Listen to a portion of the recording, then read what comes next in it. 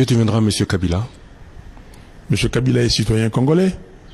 Il a sa place ici au Congo. Il fera ce qu'il voudra. Et du reste, la constitution euh, est claire. Il est sénateur à vie. Et maintenant, l'Assemblée nationale vient d'adopter euh, ben, une loi sur euh, les statuts des anciens présidents. Je crois que il sera là. Et les maîtres mots chez nous, s'il n'y a pas de revanche.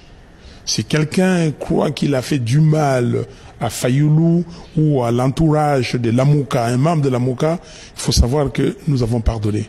Parce que nous sommes des chrétiens. Et les deux valeurs, les deux premières valeurs des chrétiens, c'est un, l'amour, deux, le pardon. Donc que les gens comprennent que nous avons pardonné et il n'y aura pas de revanche. Vous n'utiliserez pas son expérience?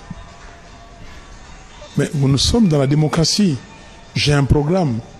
Et le programme qui est là, c'est un programme que nous avons concocté au niveau de la MOCA et c'est ce programme qui sera utilisé, mais que tout citoyen congolais qui peut amener quelque chose pour le pays, l'expérience euh, sera valable et utilisée.